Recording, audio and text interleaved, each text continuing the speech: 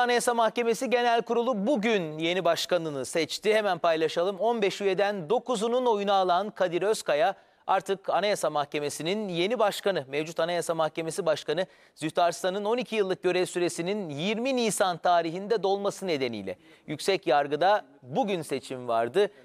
Yusuf Şevki Hakkemez ve Kadir Özkaya adaydılar. Özkaya rakibi Hakkemez'den 3 oy fazla aldı. 15 üyenin 9'unun oyuyla Anayasa Mahkemesi'nin yeni başkanı seçildi. 2014 yılında Cumhurbaşkanı Erdoğan'ın kararıyla Anayasa Mahkemesi'ni Danıştay kadrosundan Anayasa Mahkemesi üyeliğine atanan Özkaya, görev süresinin 12 yılla sınırlı olması nedeniyle Anayasa Mahkemesi Başkanlığı görevini 2 yıl sürdürebilecek.